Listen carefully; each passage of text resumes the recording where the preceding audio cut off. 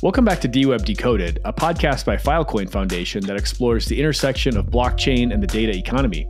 Today I'm joined by Marla Natoli of Textile to discuss Basin, which is the world's first data layer 2 built on Filecoin. Marla, thanks so much for coming on the show. Yeah, thanks for having me. So, to get us started, why don't you tell us a bit about who you are and what you do at Textile? Yeah, for sure. So, my name is Marla. Um, I head up uh, business development and partnerships for Textile. Um, I've been with Textile for about two and a half years now. Um, and previous to that, I worked in the uh, ad tech space. So uh, I spent some time at Snapchat, Microsoft, Verizon, um, all of the people collecting all of the data um, and selling ads in the space. Um, and it was really awesome, but I was always kind of looking for something um, new to learn. And I started uh, exploring via Ethereum and Bitcoin, this sort of blockchain space. Um, and then realized data was like actually a big piece of the equation of what blockchain was solving for, um, not just digital currencies. And yeah, that led me down this path of looking for people that were sort of rethinking what data looked like. And that's how I found Textile. Cool. And then would you mind just giving us a bit of intro to Textile as well? You guys are kind of, uh, you know, pillars of the Filecoin ecosystem, but you kind of wear multiple hats. So maybe give us a quick intro as to what uh, what Textile does. Yeah, totally. So Textile's been in the ecosystem for many years before I started. So probably the better part of six or seven years. Um, always building sort of developer tooling for the Filecoin ecosystem and just trying to um, find ways to make it um, easier, um, more accessible, uh, to work within the Filecoin ecosystem, sort of with like understanding the Filecoin, Filecoin sort of storage network uh, foundation um, was really solid. Uh, but there were all of these things to build on top to get the maximum value out of that. And so um, sort of a lab that's been operating in that way for a very long time. Um, about two and a half years ago, we launched Tableland, um, which we might touch on a little bit later. Uh, Tableland, uh, essentially a Web3 native SQL database was a way to bring mutability um, to data that originated from blockchain. Um, and again, was like really sort of in parallel working with the Filecoin ecosystem as it related to um, data, sort of the data files themselves were being stored on Filecoin, but then there was this metadata that required mutability um, that would sit a layer up from that that data that was stored on Filecoin. Um, and then more recently, like you mentioned, um, we've launched Basin, which is the first data L2 uh, on Filecoin that we're really excited about. Um, and sort of different to Tableland, the idea with Basin is this like super high throughput, um, large scale data uh, network that's all built on the Filecoin um, network. So let's talk more about Basin. Uh, it's super cool project that you guys have deployed here, and you've also deployed it at, at what seems to be a, a very appropriate time uh, where there's a lot of interest in a, in a solution like this. Uh, so maybe tell us a bit more about what you've built it, and what you've built here, and then also like why you've decided to build this. Yeah, totally. Um, I'm glad to, to hear that you think it's, it's a good time. We feel the same way. Um, so essentially, it's a hot data layer um, built on the Filecoin network. Um, and it kind of has two components. So we have this decentralized object storage solution um, that is that hot data layer where folks um, like data producers can put data on Basin and make it available for a specific period of time. Um, and there's this programmable lifecycle management piece to it as well. Um, so the idea there being that data does need to be available near real time for many use cases, but it might not need to be available forever. And so it can be very obviously cost um, intensive to make it available forever.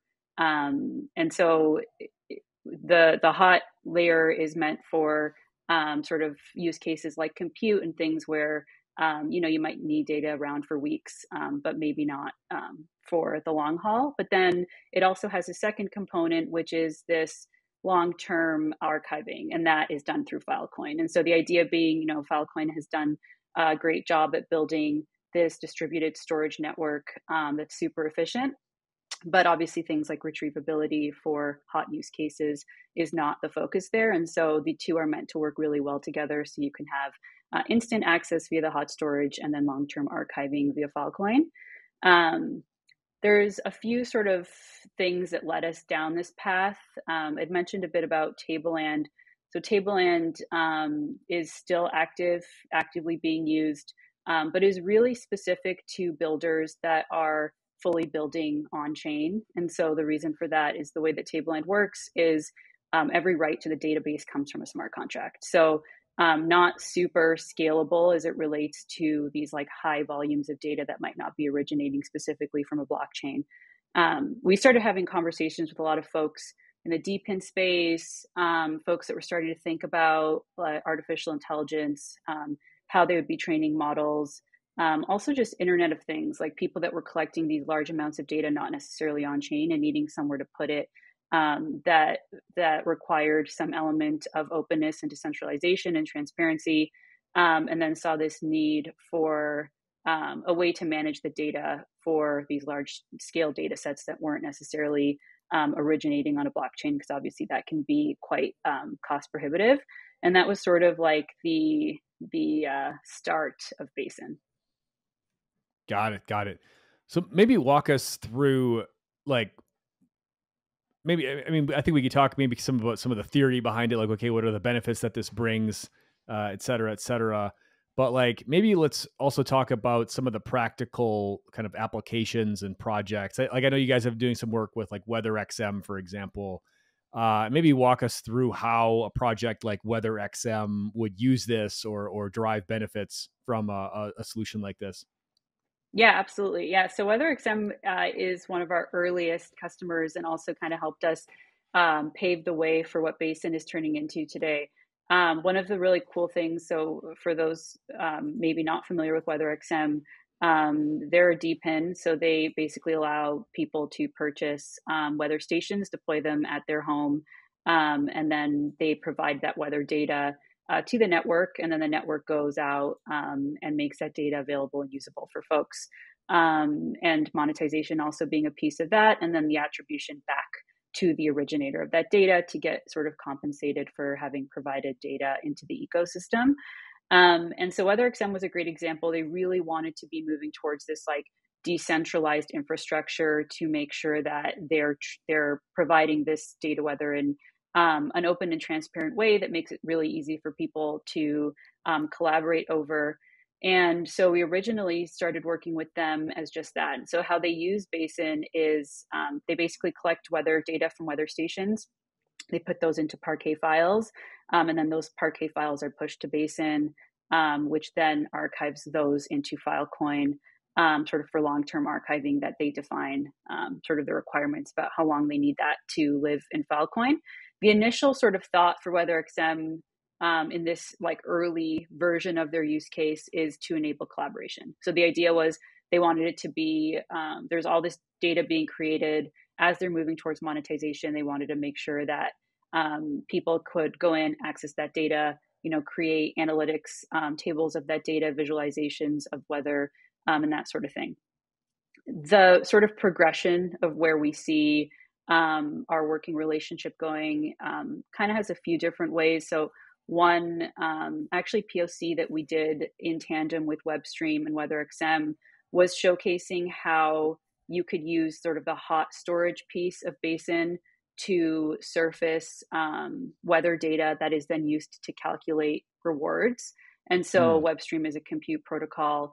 Um, the data from the weather stations becomes available on Basin there's an algorithm that WeatherXM WeatherXM has this quality of data sort of um, metric that they use to calculate rewards.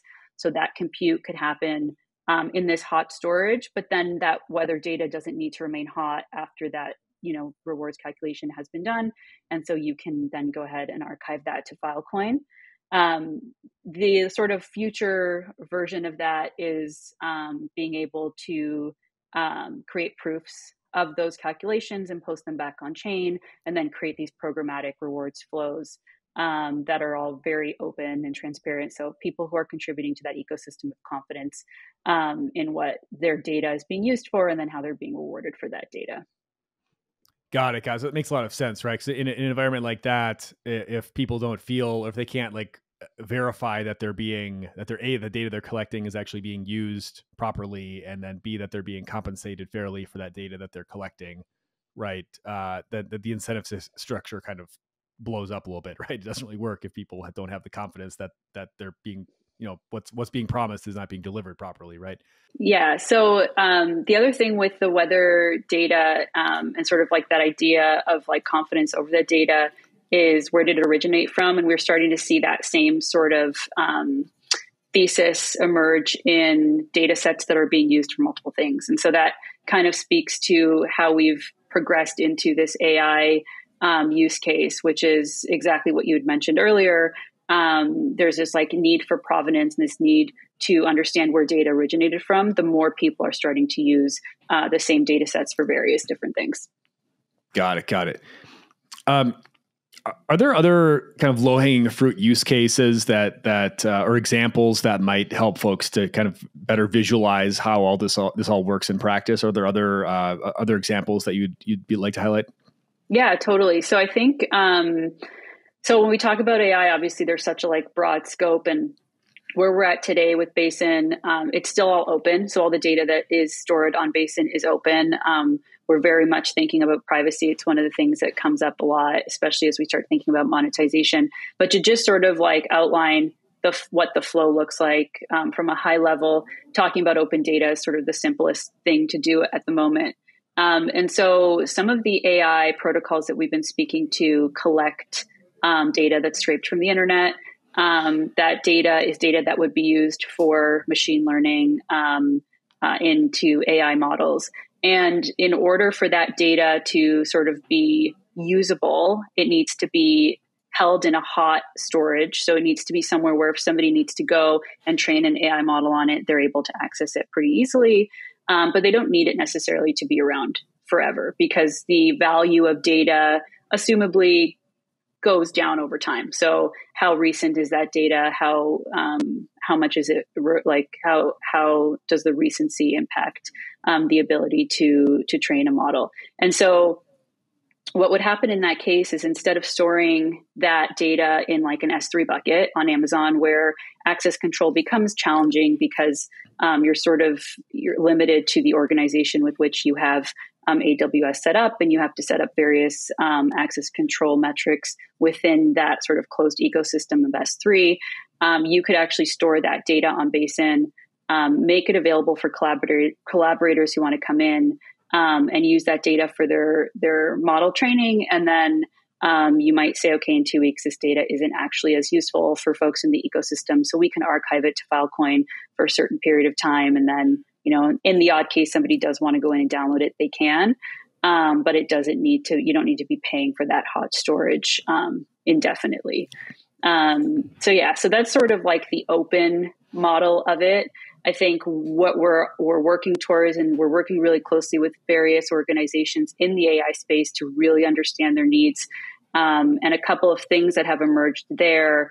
Um, I mentioned private data, so the ability to make that data private and have access control on who can actually go in and access that data and basin, but have those things um, be Web3 native. So be, um, you know, based on protocols and, and blockchains so that you can grant people permissions um, in a way that is traceable.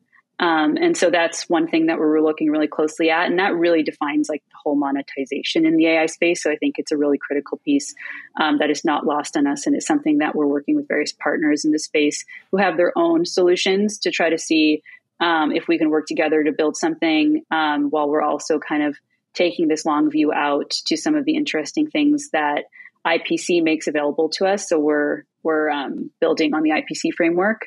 Um, so things like private subnets um, that could also make that available later down in our roadmap. Yeah, and maybe um, since you mentioned IPC, I was going to raise this a little bit later on in the in the in, in the episode, but uh, since you mentioned it now, maybe maybe just talk a little bit about how all of this fits into the into the Filecoin stack. Uh, not just IPC, but then but then also the you know file using Filecoin as the the base storage layer. Yeah, for sure. Um, so the reason why we decided to build on IPC was really for like the horizontal scaling um, that's available via the subnets. And so um, essentially, what happens is the object store sort of gets updated into a subnet. There's various validators in that subnet um, they come into they come to consensus over state of um, that change in that object, and then that gets uh, checkpointed to the root subnet um, that then gets uh, stored on Filecoin from there. Um, and so the horizontal scaling and the availability to make this all sort of really uh, quick and inexpensive um, is all based on sort of the IPC framework. And so that was um, really the the impetus of us working working um, on that, and it really is what enabled Basin to exist. So we started looking at what we were going to build. I guess it was a year ago now. We first started doing our user research on what people were looking for. Um, this was still super early days and not necessarily something that was possible. Um, but now, with IPC having advanced the way that it has, um, it's made it possible to run this at a super um, near real time speed, which is what people are looking for. Um, and then in terms of the Filecoin network, I mean, I just think that like we're we're not trying to reinvent the wheel on a storage protocol. Like we think Filecoin's done an exceptional job. Some of the concepts that we are sort of um, toying around with, though, are um, keeping data really close together. So being able to use the Filecoin network um, where storage providers are already providing storage from a long term archiving perspective from Filecoin, um, and then being able to also provide this hot storage layer for us would allow um, people who need to store their data to have you know relationships with different validators um, that are well poised because they're already working in the Filecoin ecosystem and storing those large amounts of data um, and have the infrastructure to support that. Very cool. Very cool. Thank you for that explanation. That that's super helpful for just understanding how all these things kind of fit together. Um, I wanted to kind of turn back to the AI question here a bit more, and I know um, you know there's lots of talk about you know, like how we train AI models, and there's going to be an AI model for this and an AI model for that. Uh, but at the end of the day, these are still kind of like they're just like garbage in, garbage out. You know, the same way as any any other software program, right? and there's really kind of this whole process of making the data set usable and digestible before it can be really like usefully trained in a in, in a in a model and it seems like this is one of the problems that you guys are attempting to solve with with, with Basin here is basically making these giving the tools to make these these data sets uh, through the, some of the collaborative processes and being able to open these data sets up to more uh, you know you know more like broader access controls and things like that. Um, maybe talk a bit about like I guess that whole like data preparation process of like why you need you know a, a, tool like this or why a tool like this is helpful for basically getting the data set like optimized to be used usefully in in one of these models yeah totally i think um i mean i think there's just a lot of players in the space that are doing a really good job at aggregating data um, and helping in sort of like making data sets available for folks. And Hugging Face is one. Um, you know, Bagel is is creating sort of a decentralized version of that. And we're certainly not trying to um, necessarily play in that space, but we are trying to provide the data infrastructure piece that powers um, what these folks are already doing. And I think like one of the biggest things that we've been hearing is that labeling that you mentioned. So labeling of data, making sure it's um, it's really easy to find what it is that you're looking to access. Um, and then making sure that data is accessible and then making sure that the right people can access that data. So those are sort of like the workflows that we're really looking to solve is um, how do you take all of these vast amounts of data and then organize them and then put them in a place where people are confident that they're going to be available. And that's one of the really core things to Basin is that data availability guarantee. So you know that that data is going to be there when you need it to be there. Um, and so when people need to go in and access um, those machine learning models, um, that they are going to be there. The other piece that we're hearing is super critical that um, would be helpful so in these in these worlds where these data sets are being surfaced is the idea of prominent provenance and verification. So there's like there's sort of like two worlds. One is is um, sort of this real data is being created. People are classifying that data, and then um, they need to know where that data originated from, and that's pretty critical as it relates to things like making sure that um, you know you are giving some assurances or guarantees on the model that you're creating or the agent that you're creating then you need to know the data that went into it because the data that went into it is is really critical to the quality of the output of the agent and so understanding the origin of that data is really important so that's one piece that that basin um, is really focused on solving for and being able to allow not just provenance of the origination, but then also derivative data sets. So you might consume a data set and then turn it into something else, and then there's a derivative of that data set that gets used um, in a in a process down the road. And so those um, those primitives sound like things that um, these networks aren't necessarily looking to solve for, and that's and that's where Basin um, is hoping to play.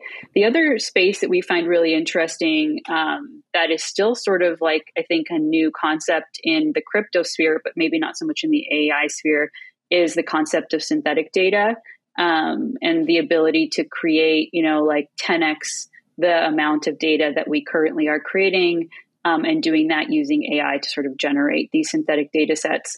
Um, and then with synthetic data sets, it also becomes something like Basin becomes really interesting as well, because you kind of have the ability to attach provenance and derivative um, classifications, but you also are able to make that data, pay for that data to be used for only a set period of time.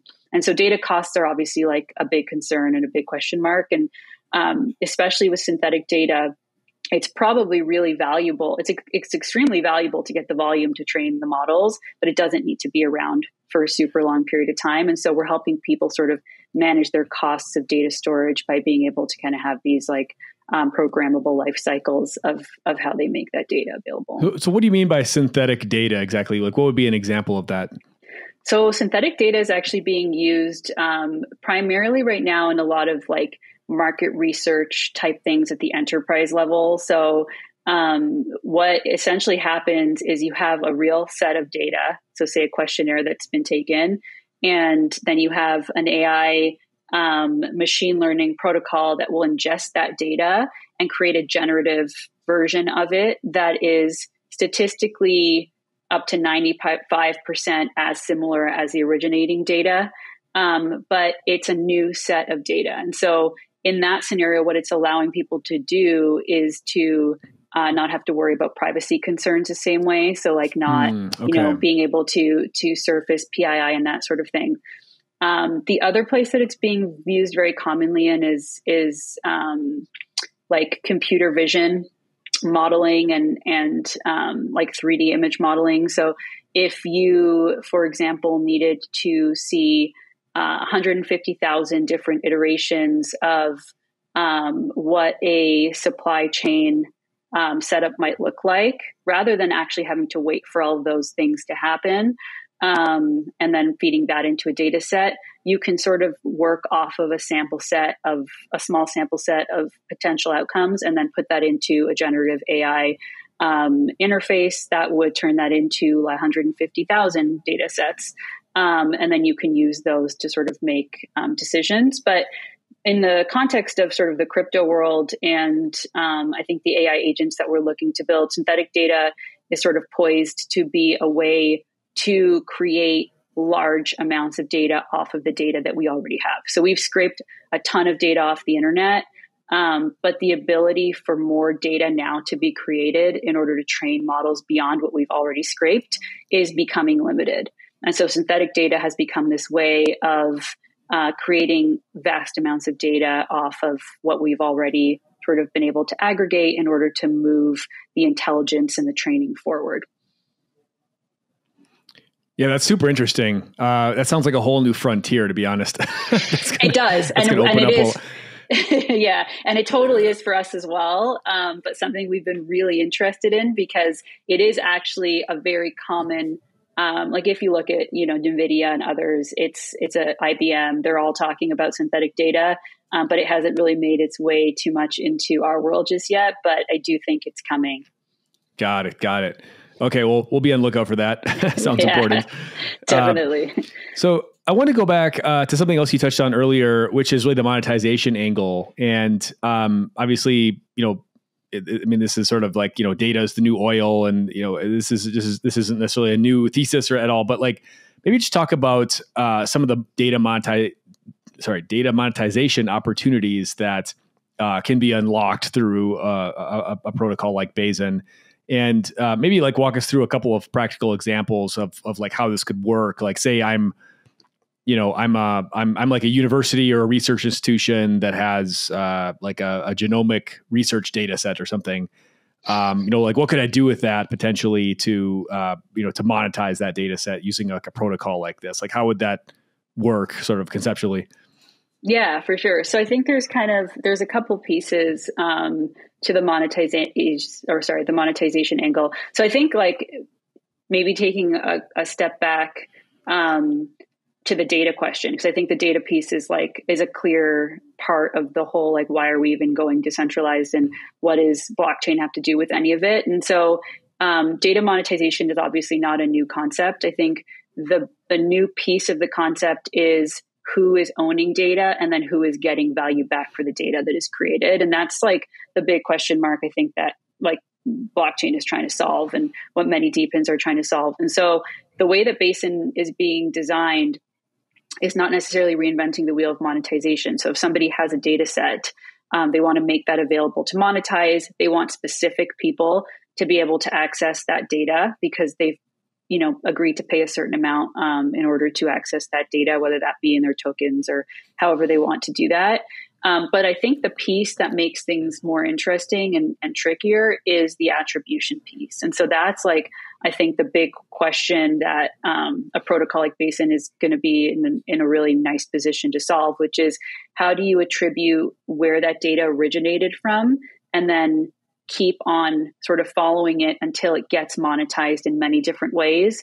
And then make sure that when it is monetized, the creators of that data are compensated in a way that is fair. And then making sure that that's all something that is is auditable and verifiable so that the the people in the ecosystem continue to be incentivized to do the things that we're trying to get them to do. So I think like um, on from that perspective, I think that's where Basin plays a really interesting role. Um, I think as it relates to like ways that monetization could potentially change and shift as we go forward. Um, I want to give credit where credit is due. I was um, chatting with uh, Danny from Ceramic the other day, and um, I come from the ad tech space, so this kind of like resonated with me. But one of the other things that I think is really interesting is is how he put it, which is what AI is potentially poised to do and what all of this like labeling um, and classification of data uh, could help improve is instead of creating all these data sets, making them available, and then saying, hey, here's the data that's available. You guys can come in now and monetize it and use it as you like. Um, what we're getting closer to is a world where people can actually say, like, here's the data that I'm I'm trying to find. Like this is the thing that I'm trying to solve for. This is the question that's being asked of an like an AI agent or um, you know, this is the person that I want to speak to or whatever that might be. And then putting that out into a network and then having the data actually be created to answer those questions. So it's sort of like flipping the script a little bit and making data a little bit more useful because the data that gets created um, or the way that it's labeled or the way that it's mixed and matched between different data sets can actually be used um, and delivered to a final end user in a way um, that addresses their original ask versus just passing a data set onto them um, and then having them kind of have to do the legwork of dissecting it all and making it fit the use case. Um, and I think that's that's a really interesting way of looking at how um, intelligence could play into this and, and recraft the way that we uh, we access and monetize data. That's super interesting. Kind of trying to reverse engineer the process a little bit, right? Instead of being like, here, here's a like, uh, here's a data set. Like, have fun, right? Like, I yeah, remember totally. A couple like a decade or so ago, when the U.S. government started, they, they they embarked on this kind of like open data initiative. Like, we're going to make all of our data like open and public, and which is which is you know a good you know certainly a, a, noble cause but they're just kind of like dumping all these data sets out to the public. It's like here like have fun. Like totally. so like, if you okay, could like, go in there and say okay like ask a question. This is specifically what i'm looking for. You know what are the like water quality rates in these different places? And is there a correlation to cancer or something like that? You know like putting that in and then actually being able to surface relevant data i think would be really interesting yeah, absolutely, absolutely, and yeah, kind of making this whole process a bit more like user friendly and and just more calculated, I guess, or targeted. Um, I guess one other final question I wanted to throw your way here um, is and this is this kind of ties back to what we were the, the earlier question about how you guys fit into the Filecoin uh, stack, essentially.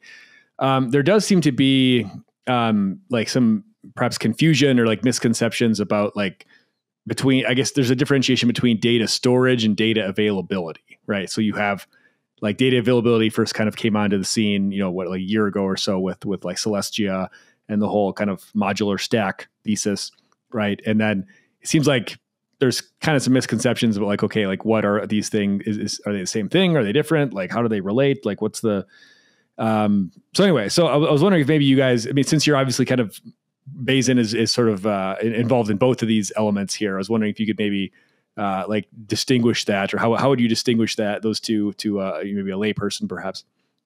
Yeah, for sure. I mean, I think the Filecoin storage network is designed to store files.